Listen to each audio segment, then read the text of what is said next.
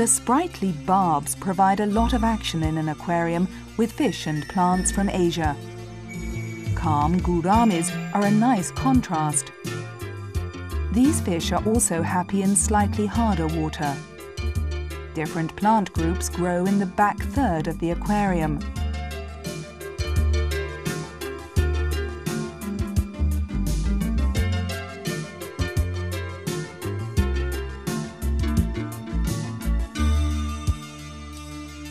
Plants with red or very fine leaves need plenty of light.